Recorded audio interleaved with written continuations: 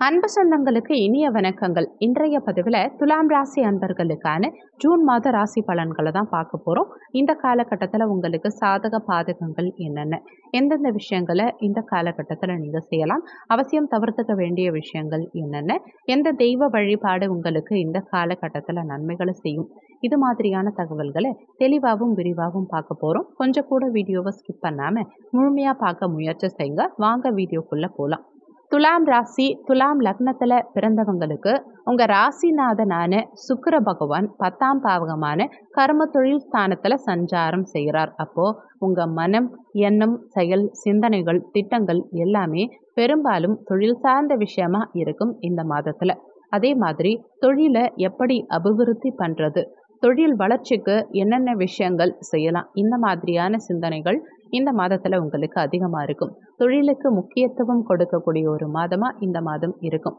ஏன்னா இந்த மாதத்தினுடைய துவக்கத்தில் சந்திரன் அதாவது பத்துக்குரியவனான சந்திர பகவான் உங்கள் ராசியிலேயே சஞ்சாரம் செய்கிறார் அப்போ சந்திரனும் சுக்கிரனும் பரிவர்த்தனை பெற்று பரிவர்த்தனை யோகமாக இருக்கும் காரணத்தினால இந்த மாத துவக்கத்திலேயே நீங்கள் எடுக்கக்கூடிய முயற்சிகள் தொழில் சார்ந்த விஷயத்தில் எடுக்கக்கூடிய முயற்சிகள் பலிதமாகக்கூடிய தன்மையை உண்டாக்கும். ஆனால் உங்கள் ராசியிலேயே கேது பகவான் சஞ்சாரம் செய்கிறார்.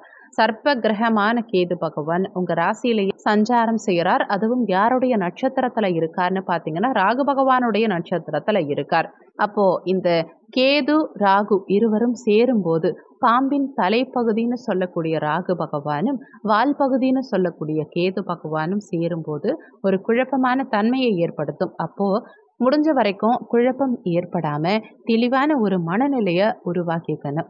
மற்றவங்க அதாவது மூன்றாம் நபர்களை நம்பி எந்த ஒரு விஷயத்துலையும் இறங்கக்கூடாதுங்கிறதையும் மனசில் வச்சுக்கோங்க. அடுத்து உடல் நலத்திலையும் கூட ஏதாவது ஒரு தொந்தரவுகள் இருக்கிற மாதிரி ஒரு மனநிலையை உங்களுக்கு கொடுக்கும். ஆனால் பெரிய பாதிப்பு எதுவும் ஏற்படாது. இரண்டுக்குரியவனான செவ்வாய் பகவானும் பத்தாம் பாவகமான கர்ம தொழில் ஸ்தானத்தில் சஞ்சாரம் செய்கிறார். அப்போது நிச்சயமாக தொழில் சார்ந்த விஷயத்தில் ஒரு நல்ல வளர்ச்சியும் தன லாபத்தை கொடுக்கக்கூடிய அமைப்பையும் உண்டாக்கும்.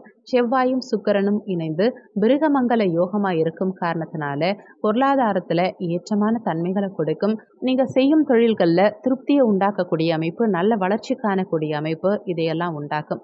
ஆனால் இரண்டுக்குரியவனான செவ்வாய் அங்கே நீசமாக இருக்கும் காரணத்தினால நீசங்கிறது ஒரு தியானத்தில் இருக்கிறதுக்கு சமம். அப்போது பணம் சார்ந்த விஷயம் கொடுக்கல் வாங்கல் விஷயம் இந்த மாதிரி விஷயங்களில் கொஞ்சம் கவனத்தோடையும் எச்சரிக்கையோடையும் செயல்படணுங்கிறத மட்டும் ஞாபகத்தில் வச்சுக்கோங்க. அடுத்து மூன்றுக்குரியவனான முயற்சி ஸ்தானத்தின் அதிபதியான தைரிய வீரியத்தை கொடுக்கக்கூடிய குரு பகவான் ஏழாம் பாவகமான கலத்தர ஸ்தானத்தில் அமர்ந்து தன்னுடைய பாக்கிய பார்வையாக மூன்றாம் பாவகத்தை பார்க்குறார். அப்போது மூன்றாம் பாவகம் வலுப்பெறுது.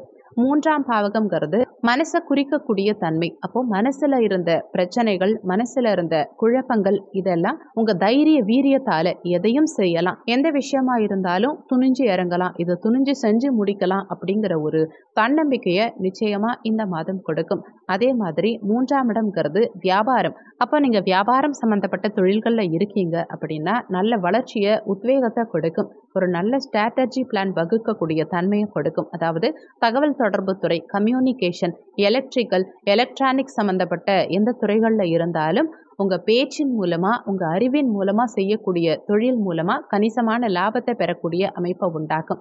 அக்கவுண்ட்ஸ் ஆடிட்டிங் இந்த மாதிரி துறைகளில் இருக்கவங்களுக்கும் ஒரு நல்ல உத்வேகம் பெறக்கூடிய அமைப்பை உண்டாக்கும். அதே மாதிரி மூன்றாம் இடம்ங்கிறது பத்திரப்பதிவு சார்ந்த விஷயங்களை கொடுக்கும். அப்போது நிச்சயமாக பத்திரப்பதிவு செய்யக்கூடிய தன்மைகளை நிறைய பேருக்கு கொடுக்கும். வீடு வாங்கணும் இடம் வாங்கணும் அப்படின்னு ஆசைப்பட்டிருந்த துலாம் ராசி அன்பர்களுக்கு இடத்தை வாங்கி ரிஜிஸ்ட்ரேஷன் பண்ணக்கூடிய வாய்ப்புகள் பிரகாசமாக இருக்குது அப்போது நான்காம் இடத்துல இப்போதைக்கு எந்த கிரகமும் இல்லை. அப்போது சுகஸ்தானம் சிறப்பாகவே இருக்குது உடல்நலம் சார்ந்த விஷயம்.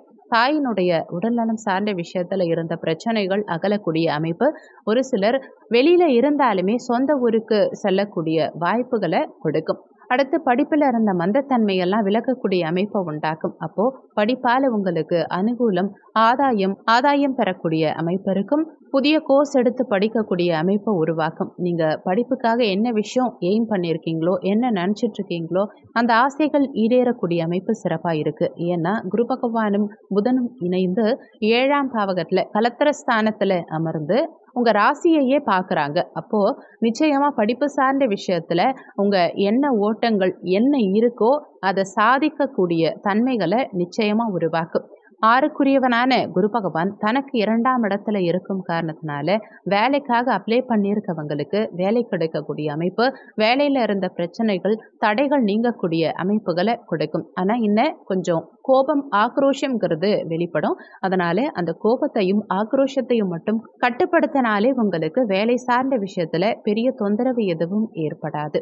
அடுத்து திருமணம் சார்ந்த சுப காரியங்கள் ஈடேறுமான்னா ஏழாம் பாவகத்தில் கலத்திரஸ்தானத்தில் குரு பகவான் சஞ்சாரம் செய்கிறார் அப்போது குரு பலன் உங்களுக்கு நிச்சயமாக இருக்குது ஏழாம் இடத்துல இருந்து குரு பகவான் உங்கள் ராசியையே பார்க்குறார் முயற்சி ஸ்தானத்தை பார்க்குறார் லாபஸ்தானத்தை பார்க்குறார். அப்போது திருமணம் சார்ந்த விஷயத்தில் இருந்த தடைகள் பிரச்சனைகள் எல்லாமே விலகக்கூடிய அமைப்பை உண்டாகும் ஏன்னா அங்கே ராகு இருக்கார். அப்போது ஏதாவது ஒரு குழப்பத்தையும் உங்களுக்கு உருவாக்கி இருக்கும் இந்த வரன் பார்க்கலாமா? இது அமையுமா? அமையாதா? அந்த மாதிரி ஒரு குழப்ப நிலையை உங்களுக்கு கொடுத்துட்டு இருந்திருக்கும். ஆனால் இந்த மாதம் அதிலிருந்து விலகக்கூடிய தன்மையை உருவாக்கும். நினைத்த மாதிரியே உங்களுக்கு திருமண வாய்ப்புகள் கைகூடக்கூடிய அமைப்பை உருவாக்கும்.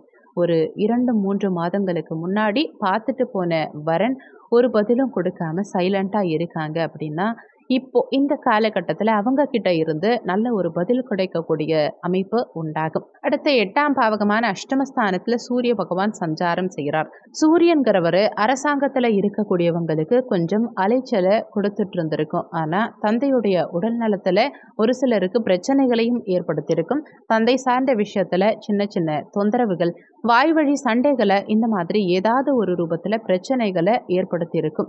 ஒரு அனுகூலங்களை கொடுக்காம தொந்தரவுகளை அதிகம் கொடுத்துட்டு இருந்திருக்கும். ஆனால் அது எல்லாமே இந்த மாதத்தினுடைய பிற்பகுதி அதாவது ஜூன் பதினைந்தாம் தேதிக்கு அப்புறமா தந்தை வழியில் இருந்த பிரச்சனைகள் சொத்து பாகப்பிரிவினை சார்ந்த பிரச்சனைகளில் இருந்த தொந்தரவுகள் எல்லாமே மாறக்கூடிய அமைப்பு. அந்த பிரச்சனைகளை பேசி தீர்த்துக்கக்கூடிய சந்தர்ப்ப சூழ்நிலைகளை நிச்சயமாக உங்களுக்கு சூரிய பகவான் உருவாக்குவார். அதே மாதிரி புதன் பகவான் எட்டாம் ஆகுமான அஷ்டமஸ்தானத்தில் அமரும் காரணத்தினால தாய் மாமன் சார்ந்த விஷயத்துல கொஞ்சம் கவனமா இருக்கணும். மாமன் வகையில கருத்து வேறுபாடுகள் ஏற்பட வாய்ப்பு இருக்கிறதால பேச்சில் கவனமும் நிதானமும் அவசியம் தேவைப்படும். நரம்பு சம்பந்தமான பிரச்சனைகள் ஒரு சிலருக்கு ஏற்படுறதுக்கு வாய்ப்புகள் இருக்கிறதுனால அதாவது நரம்பு சம்பந்தமான விஷயங்கள்ல கொஞ்சம் கவனமா எச்சரிக்கையோட இருக்கிறது ஆரோக்கியத்துல கவனமா இருக்கிறது உங்களுக்கு நல்லது.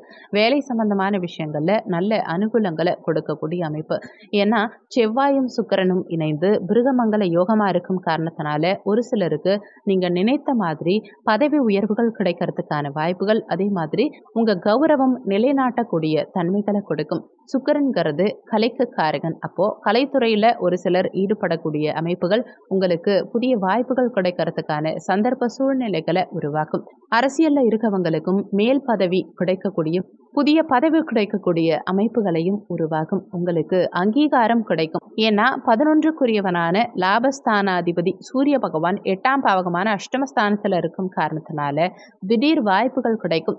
எட்டாம் பாவகம்ங்கிறது வலிவேதனைகளை கொடுக்கக்கூடிய அமைப்பாக இருந்தாலும் திடீர் அதிர்ஷ்டத்தை கொடுக்கக்கூடிய பாவகமும் அதே எட்டாம் பாவகம் தான் அதனால ஒரு சிலருக்கு நீங்க சிக்கிய கடனிலிருந்து மீண்டு வருவதற்கான வாய்ப்புகளும் ஒரு சிலருக்கு அமையும். அதாவது ஏதாவது ஒரு பிரச்சனைகள்ல சிக்கல்களில் தொந்தரவுகளில் நீங்க மாட்டிட்டு இருந்தீங்கன்னா அதிலிருந்து நீங்கள் நீங்க மீண்டு வெளியில வர போறீங்க வெற்றி காண போறீங்கங்கிற ஒரு உத்வேகத்தை இந்த மாதம் உங்களுக்கு கொடுக்கும். அதே மாதிரி யாரெல்லாம் வெளிநாட்டுக்கு போகணும் வெளிநாட்டுக்கு போயிட்டு வேலை பார்க்கணும்னு ஆசைப்படுறீங்களோ உங்களுக்கு உங்க ஆசைகள் நிறைவேறக்கூடிய வாய்ப்புகளையும் சந்தர்ப்ப சூழ்நிலைகளையும் உண்டாக்கும்.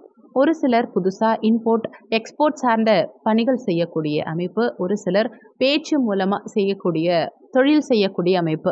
கம்யூனிகேஷன் மார்க்கெட்டிங் இந்த மாதிரி வேலை பார்க்குறவங்களுக்கும் உங்கள் டார்கெட் ரீச் பண்ணக்கூடிய ஒரு மாதமாக இந்த மாதம் உங்களுக்கு இருக்கும். உங்களுக்கு நல்ல தெய்வ வழிபாடுன்னு பார்த்தா இந்த மாதத்தில் துலாம் ராசி அன்பர்களுக்கு ஒவ்வொரு ஞாயிற்றுக்கிழமை அன்னைக்கும் சிவபெருமான் வழிபாடு செய்வது உங்களுக்கு நிச்சயமா சகல விதத்திலையும் பிரச்சனைகளை நீக்கக்கூடிய அமைப்பு. மனசுல இருந்த தொந்தரவுகள் எல்லாம் விலகக்கூடிய வாய்ப்புகளையும் சந்தர்ப்ப சூழ்நிலைகளையும் உருவாக்கும். இந்த வீடியோவில் உங்களுக்கு ஏதாவது சந்தேகம் இருந்தால் கீழே இருக்க கமெண்ட் செக்ஷனில் சொல்லுங்கள் நன்றி. மற்றும் ஒரு நல்ல பதிவோடு மீண்டும் உங்களை சந்திக்கிறோம்.